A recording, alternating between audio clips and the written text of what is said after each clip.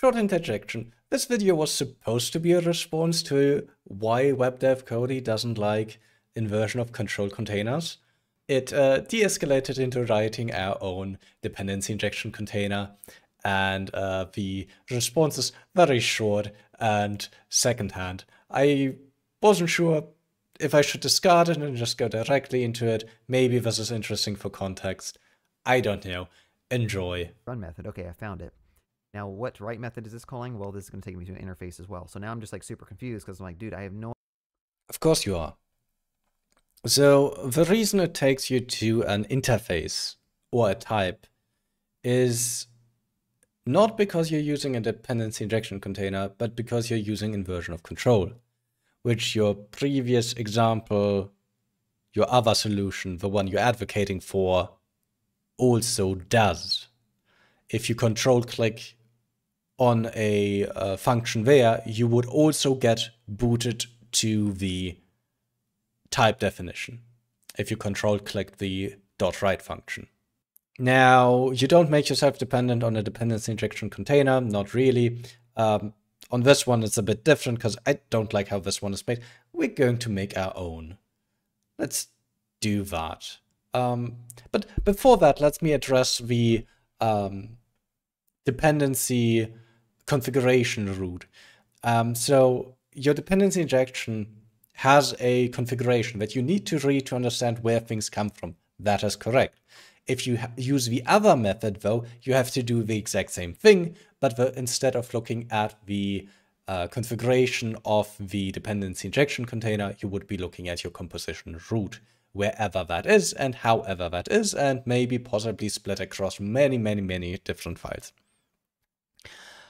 I'm not advocating for either. Both have their places. Uh, I prefer a configuration root that or composition root that is clear where it's all in one thing. And a dependency injection container gives us the opportunity to do that. Right, so let's do something fun like defining completely unnecessary things from scratch. Here I got a simple TypeScript program. All it does is print out me, nothing else. Let's delete this. So we want to build a dependency injection container. The dependency injection container is in, in end effect just a map of some prop to some thing. I know it sounds stupid, but that's basically what a dependency injection container is. Uh, it allows you to ask for some prop for something under some name and it'll construct that thing for you somehow. Now, to build a container and to build it typed in a painless way because the container he demonstrated was also kind of painful to configure. Um, we can do types that have memory of some sort. Uh, let's let's do that actually. And excuse the bumbling through TypeScript a bit. It's been a solid one and a half plus years since I actually wrote TypeScript. So, eh. Anyway, so we have our dependency container of some sort which takes in a key. And we're extending string here. We could probably also extend symbol and numbers, but I'm going to, this is a proof of concept. I'm not going to build the a fancy dependency injection container, just one that works. And we uh, need some memory here. So there's our memory. And the way we're going to uh, do this is we can use our memory and add this here into our new property that we got here, like so. Uh, we're going to modify this probably because I suspect that value should be a function, but we're going to discover that in a second. Uh, so if we see and test quickly if whatever we're doing here makes sense, and if we look at A, we see that it's just an empty thing. This is how our memory will work if we add another one here based on A. Then we see that if I peek at B, we're going to get both. This is a bit easier to see if I do a C here and I say this is of type B and I'm just gonna do a crime here, ignore this. Uh, but we see that it has both C and other in it. Now, this isn't very useful because we don't want to do this manually. This looks like a pain, right? So let's add a managing container around it of some sort. This one also needs memory and we'll give it a single function called register. And this function has to be typed similarly to our memory up there. This probably should also be a function. uh, but we'll uh, address that when we get, get to it. And what does this return? Well, it should return a new container with our dependency in here, key value, and our memory applied to this. Now, if we use this, this is going to be very useful. Now, this has this register thing, and if we call this with some other here, and a value, and if we peek at A now, we should see that it has this memory in the type. It's not going to be useful to us because it's only in the type. So if we do a dot, we don't see it. And the way we can get around of it, uh, out of this is by adding our memory onto here as well. So that's the new container that we're getting out of this.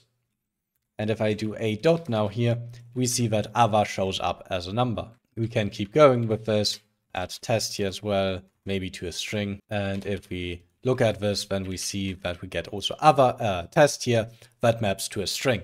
And if we were to use this somewhere, and let's say we use the same example he did with two different writers, right? And then we could say here S3 writer and the file writer was this right? There we go. Of course, the types uh, we are using need to be defined first. And if we wanted to, we could do an a dot s3 writer write hello world. Now, if we actually tried this, this would crash with a null pointer because we did this here, up here. But this recreates the structure he had. And obviously, if he wanted to not construct this conditional in here, which I wouldn't do either, um, then he can still do a thing like let uh, writer equals uh, use s3 and then he could do as s3 writer otherwise use the file writer. And then we could instead of that just use the uh, writer down here. And then let's define i'm not gonna use an environment variable because uh, this is faster. So we're gonna see if that works in a second uh, we need to add our actual container, right? The interesting part. Um, but that does the same thing, and that alleviates the, the problem here. He still knows when which writer is chosen. Of course, we could also add a another one here that is conditional, um, but then we need to actually address the functions, which we will do in a second. A quick and easy way to do this is if we just define inner here and we return the inner instead and then this gets the register function here. And now we can simply assign this. Uh, so we can say inner as any because I am too lazy to deal with the thing. Assign the value to the key and then return inner and this might work yeah so this works uh, we now wrote to S3 hello world. If we instead you uh, set this to false, uh, and if we run this, then we're going to write to 5. So, all easy peasy, not an issue. Uh, but what if we wanted to inject things, right? Because this is a dependency injection thing. It should actually construct things um, like what we saw before. Let's add another writer and call it a logger. Logging. And let's change these here to functions instead. And they take in a logger of some sort. Uh, writer. And here we're going to see the actual usefulness of a dependency injection framework. Okay, so that doesn't help us much because now we have the functions in here. So what we would want to have is that when we access the writer here, that it constructs the writer for us and injects this logger here, right? So first thing we're gonna do is turn this into a function.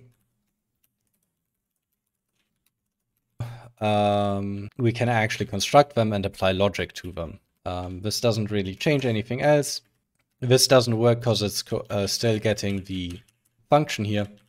So we still need to make this thing here, right? Then the error goes away. Now, of course, that is still not correct. We need to inject the logger in here somehow. But let's also register the logger. So we would like to access this, this logger somehow in here already. Um, so let's add this here and turn this into a function. I alluded to that earlier. Uh, that returns a value and it takes in the actual inner container. We can just straight up do this. So these turn into errors, obviously, um, but we can simply do that now. And this can now accept, accept the context. And from the context here, we have access to the logger. Um, one thing to, of note here is we can't build cyclical dependencies, which is a good thing. Um, because cyclical dependencies, even with uh, dependency injections, is not generally a good idea. And the way we wrote it, we can only access the things we've defined up before. So uh, the order matters here. So what's the issue? Argument writer is not assignable to type writer. Yes, correct. I should have done this. Now, we still need to actually provide this context here. Value is now a value constructor function, which for us means we can simply do this. And value should actually be then a function over here. And we can just do this.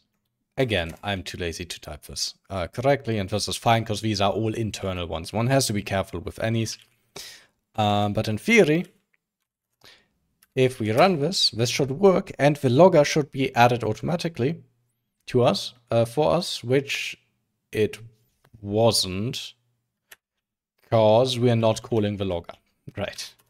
So we should maybe also call the logger here, logger write, using s3 writer, using file writer. And if I run this now, now we should have the logger being used. This is a sim very simple dependency injection container, and it does actually kind of all you need from a dependency injection container.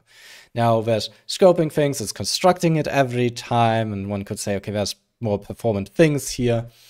Um, this is a mutable one, maybe it should return a new one instead, because um, if you store this and then reuse it somewhere else, then you're suddenly overwriting things, stuff like that uh, are issues um, eventually, the type system will give up with the depth here, so there might be some optimization one needs to take there or use different dependency injection, like nest them at some point of time, but you could do that in code as well to some degree, so that it still spits it out. Uh, so with a type system, you could extend this limit larger, because there's recursion depth to, to this simply. Uh, we could also make this put this condition in here. Now, one big advantage here is we can put in anything we want here. It's registered under this name and has the right type automatically.